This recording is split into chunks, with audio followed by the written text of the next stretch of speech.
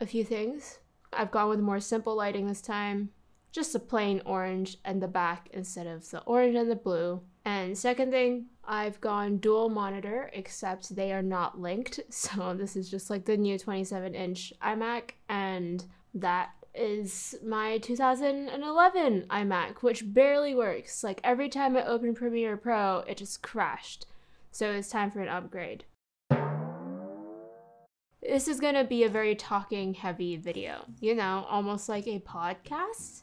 A question that I get often, and one that to this day I still think about a lot, is what fingerboard should I get? What size, what shape, and even what company? Today, I want to give you a relatively in depth guide that I subscribe to personally that will hopefully help you make your decision, whether you're a beginner who's looking to buy your first fingerboard, like first professional fingerboard, or whether you're someone who's, you know, been in the scene for a while. Nowadays, when I'm looking to try a new deck from a company I've never tried before, it honestly comes down to these factors. Do I like what they're doing? Am I impressed with their work? Do I vibe with the company or the company owner? And finally, what do they do for the community and scene, or what have they done thus far? More often than not, I come across a lot of companies that have a lot of hype, but I just personally have no interest in, especially nowadays with all these new Instagram companies. I've noticed a lot of the craftsmanship is not perfected or it's just not to the point where they should be selling those boards. That's not to say that later on I wouldn't purchase a deck, but obviously if you're spending money on a board, you want to make sure that you're paying for something standard, if not higher quality. So these factors definitely don't have to apply to you. That's just something that I care a lot about. If you're thinking about what company you should buy from, you should honestly just look through their Instagram and you know, if it's a company with a lot of hype, make sure the people who have tried those boards, like talk to them and see if they actually like their boards. If you hear a company has a lot of hype, but then you look at the graphics or what they're offering and you're like, I don't really like it, don't feel pressured to buy from them. Let's say a company passes all of those questions that I was just talking about for me.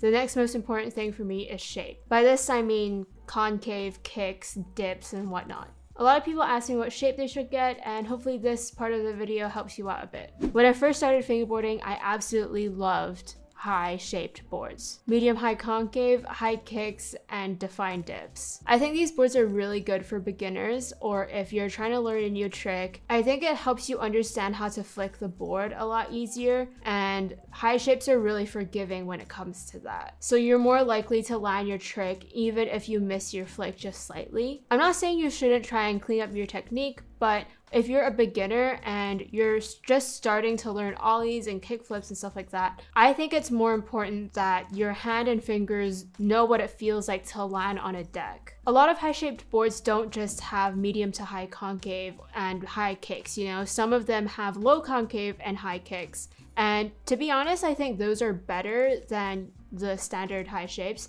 because you can feel the board under your fingers a lot better. If you're just starting out and want an affordable high shaped board, you can definitely go for a broken knuckle deck. They are China decks as far as I'm concerned. I haven't tried one in a long time, but I remember when I first started fingerboarding, I really enjoyed using them. They're so cheap, they're like seven bucks. Incredibly inexpensive, and if you decide to quit shortly after that, it's not like it's a huge loss. If you're looking for something that will last you a little longer, my sponsor Goat on the Road actually makes a really, really good high shape. It's called the crazy shape. There's also Sorry for Fingerboarding or Sorry Fingerboards, which I don't remember what their high shape is called, but they have a really, really defined and aggressive shape. For Beast Pants, it's the Rabid, and for Unique, it's the Juvie shape. On the complete other end of the spectrum, we have mellow boards, which, you know, mellow kicks, mellow concave, everything is pretty low. I don't love low boards, but they are really, really good for trying to get consistent.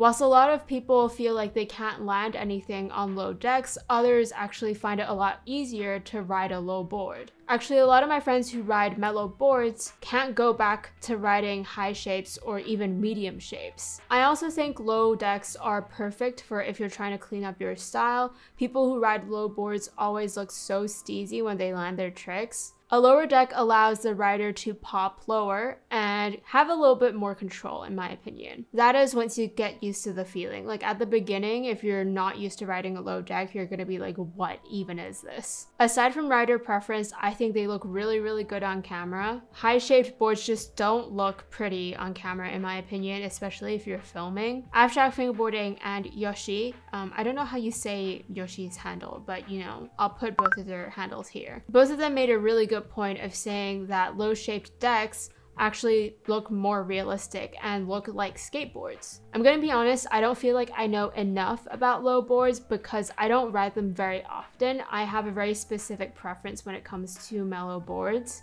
Some companies that offer low shapes are Unique, which has the hatchling shape. Fizzy Fingers, who I actually just did a review on, you can go check it out on my channel. Um, she does medium, low, and low boards. Catfish Barbecue has a saltwater, and finally, a more recent company is FL Decks. I've never actually tried an FL, but I've heard really, really good things. Now onto a medium shape. So I don't think medium shapes are as simple as medium concave, medium kicks, and medium dips. After surveying around, I've realized that the line between low and medium is actually kind of blurred. To me, a medium shape is probably something like, you know, low to medium concave, medium kicks, and medium to low-ish dips. I personally think medium is a great place to land when you've been fingerboarding for a while. It's obviously very much down to personal preference, but if you've been used to riding high-shaped boards, I definitely think you should go for a medium, and actually you should go for a low deck as well, just to, you know, experiment but medium shapes are so easy to get used to. You'll get more consistent with your tricks and your filming will look so much better. An extra advantage is it enables you to try other companies a lot easier because most companies nowadays still only make like especially if they're new they only really make medium to medium high shapes and if you're used to riding a mellow board well I mean, you probably wouldn't buy a medium to medium high board anyway, but if you're the kind of person who likes to experiment around, stick to medium. I'm going to very briefly touch on width, length, and like whether or not you should get a popsicle or a cruiser because surprisingly, that is also a question, or those are also questions that I get often. If you're first starting out, go for 32 or 32.5. Those are pretty much the standard size now. There has been a recent nostalgia for 29 millimeter or 31 millimeter, which are both sizes that I started out with. When I first started fingerboarding, there was only 29 and 30 millimeter boards. Actually 27 millimeter as well. I don't recommend starting at 29 if you're, you know, starting now, but I definitely think you should give it a try once you've been fingerboarding for a bit because it feels like cheating. But yeah, 32 millimeter is a great place to start. You can't go wrong and there's room to move up or down. So most boards now are, I think, 96 to 99 millimeter. Don't quote me on that, but I've seen a lot of companies make boards that are like around 97 to 98. A lot of companies that I ride happen to make 95 to 97 lengths. Boards actually used to be 100 to 102 millimeters, which I don't even understand how we rode those decks. Like, my very first Blossom deck was 102 millimeters, I think, and trying to ride it now is impossible. For me, 95 to 97 is perfect. So Popsicle or Cruiser? I honestly think it doesn't matter too much if you've been fingerboarding for a bit or if you already own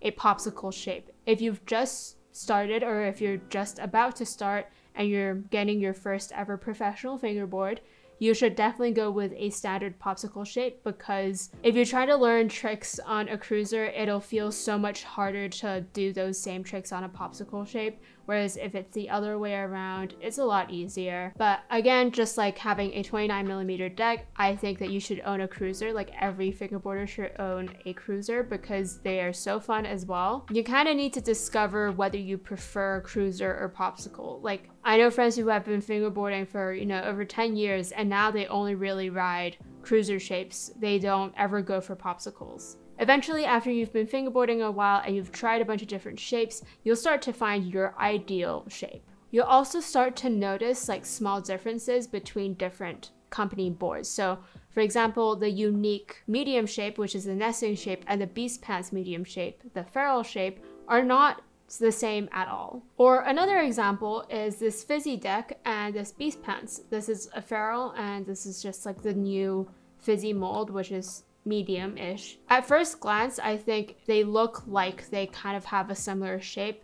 The kicks are relatively the same and so is the concave, but what makes them completely different is the dips. The Beast Pants has slightly more defined dips, which makes it more of a medium high board for me, whereas this Fizzy deck has very undefined dips, so it's more medium low. Another thing that makes them ride very differently is the Feral board has a pointier shape overall. The seemingly subtle differences actually become more obvious when you start riding them right next to each other. In the end, it's all about preference. The shapes, like I said, also depends very much on the company. Like the company shapes could be totally different, but could be named as medium molds. They just don't ride the same and they don't feel the same. Personally, I now know that my ideal shape is medium or medium low. That took six years for me to figure out. So if you don't figure it out in like the first month of you fingerboarding, that's totally fine. I understand that in your first like year or second year of fingerboarding, it's really difficult to purchase boards like a lot and try a bunch of different shapes because decks obviously come at a high expense. However,